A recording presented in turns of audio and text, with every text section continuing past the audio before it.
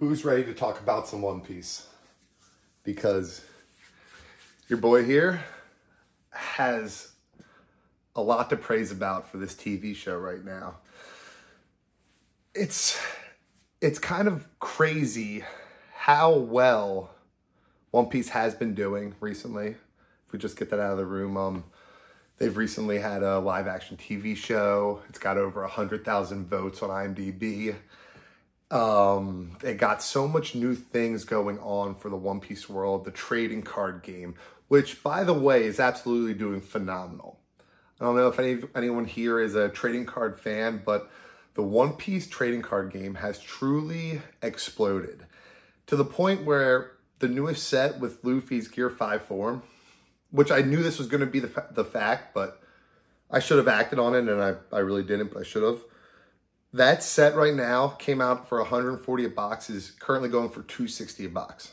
And there's a card in there of Gear 5 Luffy going for $4,000.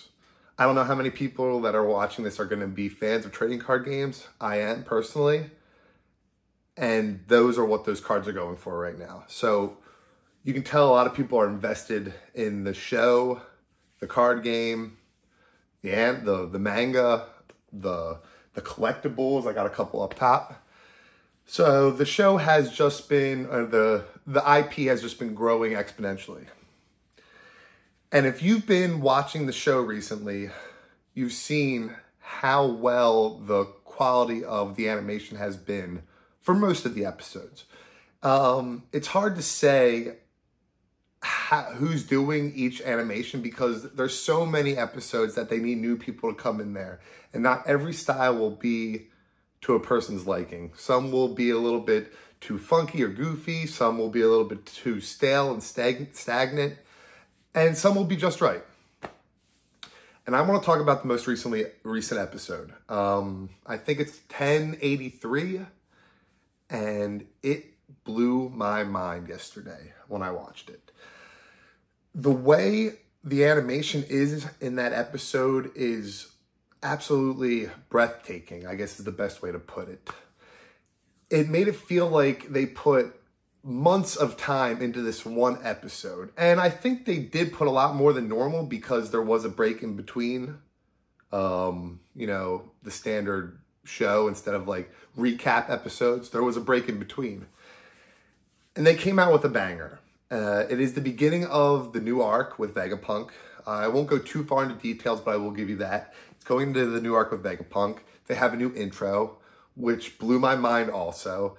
Looks so cool. cool. It has this crazy uh, futuristic big boots theme to it, which is cool that One Piece in a pirate world can implement these things that look so futuristic.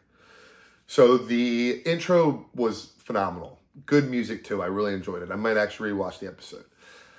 But when you get to the actual show, you really see the quality shine and every character and the way they look and the way they move and the way they sound is just top tier. Luffy Luffy's um rubber body just looked so wavy and great and it blew my mind. It blew my mind to the point where I really wanted to talk about this episode, or at least let people know that One Piece is still improving their animation game to the point where it looks like movies. As in, like, I've seen Jujutsu Kaisen, I watched the new Black Clover, I've watched Film Red. I thought this looked better than Film Red. I thought this episode looked better than Luffy's Dream episode. Like, the animation blew my mind and they went off with a bang for the start of the new arc. Um, they didn't get too far in it because it's just the first episode, but they really spoil a lot in the intro, which I, you know, if you're the manga reader, you already know what all that is, so it's not a big deal. But by by George, it made me want to talk about the episode and at least bring it to the attention that everyone should get to this point in One Piece or at least give it a shot. I I just couldn't, I couldn't, I couldn't believe what I was watching. Um, in the future, I will be getting more into uh, reviews of like the mangas and stuff like that, but I just wanted to talk about how good this episode was. I didn't want to talk about what was in the episode because I want you guys to watch it yourselves.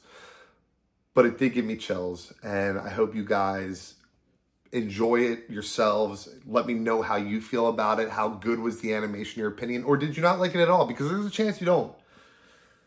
But I do want to hear that. And um, don't forget to like and subscribe. Uh, have a good day. Have a good night. And Loud Dingo out.